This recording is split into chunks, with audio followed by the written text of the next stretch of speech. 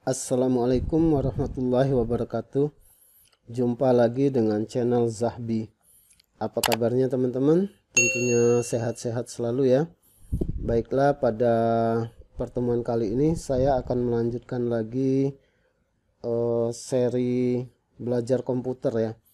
Adapun judul pada video kali, ini adalah cara membuka atau ek, ekstrak file RAR dan file zip di di PC dan laptop ya. Ya uh, file RAR atau file zip itu merupakan file kompresi ya yang me memungkinkan beberapa file untuk dikumpulkan menjadi satu dengan ukuran yang lebih kecil ya.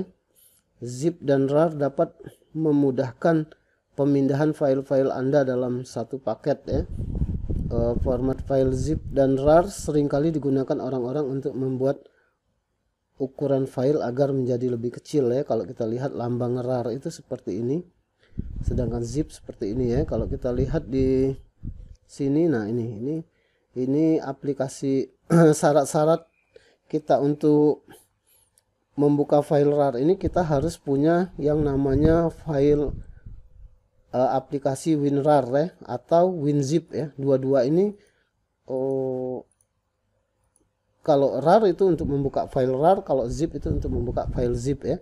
Dua-dua ini juga kita perlukan ya.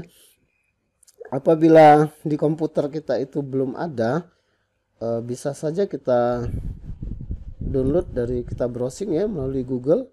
Kita ketik saja di sini WinRAR.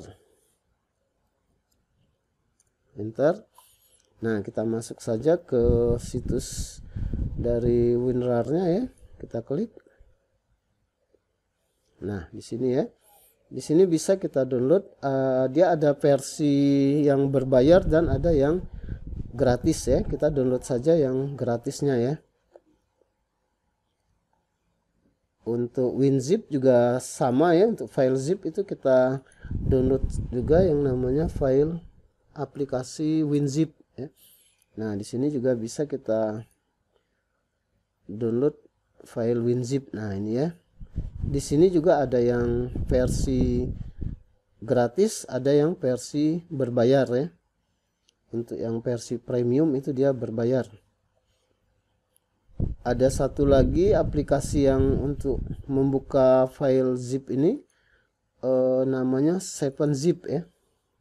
7zip tapi saya jarang menggunakan ini ya. Kalau saya uh, sering menggunakan WinRAR ya. Nah untuk untuk 7zip ini dia full gratis ya. Bisa di download dari situsnya sini ya. Ya kalau kalau belum ada bisa saja di download dari sini.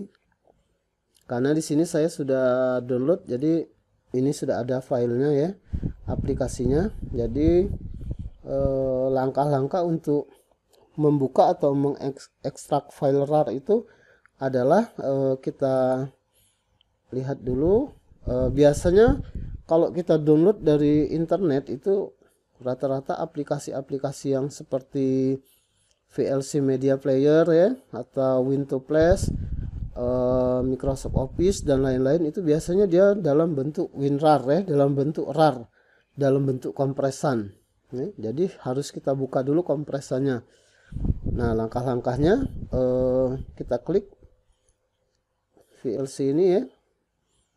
Bisa kita klik dua kali di sini. Oh. Nah, ini ya, kalau kita lihat ini filenya dia berada di dalam folder lagi ya. Kita klik juga foldernya ini. Nah, ini. Ini file yang uh, kompresannya ya. Ini kita tutup. Uh, untuk membukanya atau untuk membuka kompresannya kita klik kanan di sini. Ya. Kalau saya itu lebih sering menggunakan ini extract here ya. Atau extract file atau open with WinRAR ya. Ini banyak bisa kita gunakan. Tapi yang paling praktis itu kita gunakan extract here ya. Ini yang ini. Atau juga extract. Ini bisa ini dia akan membuat uh, eh, VLC media player. Dia akan membuat folder lagi ya. Bisa antara dua ini ya kita coba yang extract here aja ya. Kita klik. Nah dia langsung uh, terbuka kompresannya ya. Ini ini filenya dia berbentuk folder ya. Kita lihat. Nah ini isi filenya ya. Isi filenya ada VLC media player ya. Oh, sekitar 41 kilobyte ya. Kalau kita lihat di sini uh, ya karena dia tidak terlalu banyak filenya jadi dia kompresannya tidak terlalu kelihatan ya. Nah kalau yang satunya lagi ini ini di di kom dikompres pakai WinZip ya. Jadi cara membukanya juga sama ya kita klik kanan. Ya kita buka juga dengan WinRAR ini juga bisa ya. Atau mau kita buka pakai WinZip bisa juga unzip to unzip to here ya. Nah ini ya atau unzip uh, to folder ya dia akan membuat satu folder lagi di sini ya. Nah kita coba yang ini ya. Ya kita tunggu. Nah dia langsung. Nah ya dia langsung membuka uh, window flash kalau kita lihat di sini filenya ada uh, hasil kompresannya ini dia 8 mega ya kalau file aslinya kalau kita lihat di sini nah ini dia sekitar 22 mega ya. Karena di sini dia banyak filenya ya. Nah kita lihat.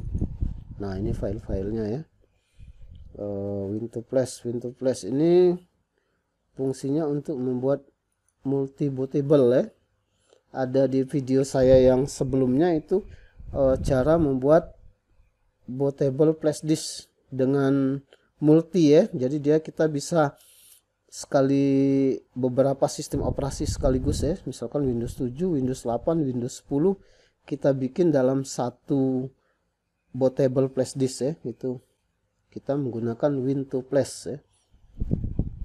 Oh ya, bagi yang baru pertama kali menonton, jangan lupa di like, di subscribe ya, uh, di share ke teman-temannya, dan loncengnya diaktifkan ya. Bila ada pertanyaan di komen di bawah ya, biar bisa uh, jangan lupa di subscribe biar bisa melihat terus kelanjutan dari video-video channel Zahbi ini, yang tentunya uh, saya akan membahas tentang pelajaran-pelajaran tutorial komputer ya. Bagi yang ingin belajar komputer bisa melihat terus kelanjutan dari video-video ini. Dan juga bisa melihat dari playlist dari channel ini. Sudah banyak sekali eh, pelajaran-pelajaran komputer ya. Ada Windows, Word, Excel, PowerPoint ya ada juga Visual Studio ya dan lain-lain.